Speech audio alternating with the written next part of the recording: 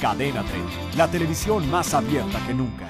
Desgraciadamente esta no es buena. Murió el pequeño Jordan Yandel Cortés Fragoso, de tres años, víctima de una bala perdida en Ecatepec, en el Estado de México. Los familiares del pequeño exigen dar con los responsables y, por supuesto, efectuar una campaña de despistolización. Recuerde usted que en toda la República Mexicana el delito de disparo de arma de fuego había sido derogado, era un delito de peligro. En la realidad de las cosas ya estamos teniendo muertes al respecto, porque, bueno, sin duda, disparar una, pues, una bala al cielo es un peligro real.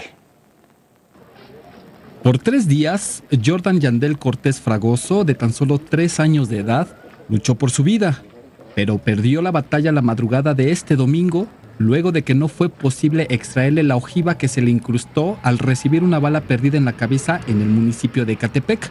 El cuerpo del menor fue recibido con aplausos por parte de familias y vecinos que lo esperaban en su casa en la colonia La Cañada a unos metros de donde recibió el impacto y exigen justicia por la muerte del pequeño. Que agarren el culpable, que se agarre el, culpa el culpable, que vean quién, quién fue.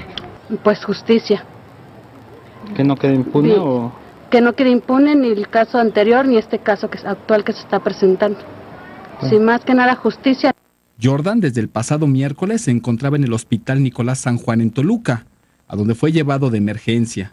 Ese día, junto con su mamá y su abuelita, estaban comprando un disco con las mañanitas, pues se aproximaba el cumpleaños de su abuelito, cuando se desplomó ante la mirada de sus familiares que no se explicaban qué había pasado.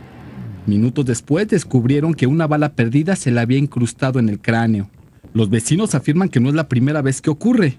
Hace dos años un familiar de Jordan también perdió la vida por una bala perdida, por lo que solicitan más seguridad. El menor fue sepultado en un panteón de la localidad después de una misa de cuerpo presente donde lo acompañaron vecinos de San Andrés. Con información de Ángeles Velasco. Suscríbete a nuestro canal de YouTube para que siempre estés informado de las últimas noticias de México y el mundo. Empieza ahora mismo dándole clic a estos videos.